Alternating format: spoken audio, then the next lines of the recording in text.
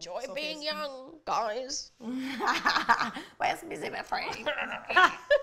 When did everyone just stop being kind and nice? When social media come about. Do you actually think? Yeah. Today, we should speak about aging. It's something that scares me. Toxic relationships. Mm. Been in any?